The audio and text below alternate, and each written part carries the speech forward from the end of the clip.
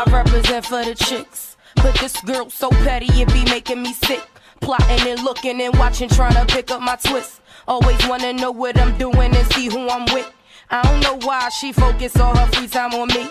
Peeking out the window when she hear me jingle my keys. Right now I'm thinking that it's to the point she wanna be me. This broad is quick to copy every time I get a new weave. Looking at the name on my bags when I bring something home. Single black female, I honestly think something is wrong. Sit on my steps, talk on my phone. She quick to go get a phone. That ain't the type of shit you do normal and grown. Bitch, go read a book or go and check a flick out or something. God damn it, I gotta get away, cause bitches be bugging. This kitty situation gon' make me come at a chin. The funny thing is, when we was younger, used to be friends.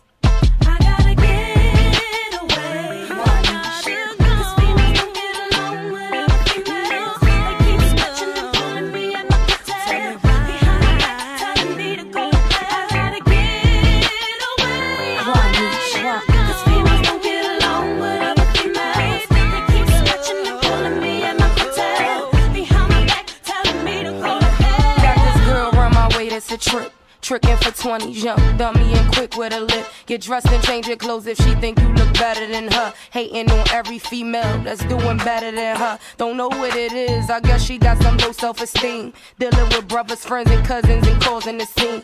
Purposely mess with niggas with girls just to start beef. And she don't really care if she known as a whore in the streets. You know the type you speak to, but basically that's about it. Cause she the type of girl that smile behind your back talking shit. In the club with her homies, keep her eye on your dude. Soon as you get up, go to the bathroom, she making the move. Turning her nose up at people acting all jealous and bitter. They hate gon' get her. Look in the books and wanna be thinner. Was raised as a quitter. That's why she act the way that she do. Content being a savage, acting like a goddamn fool. I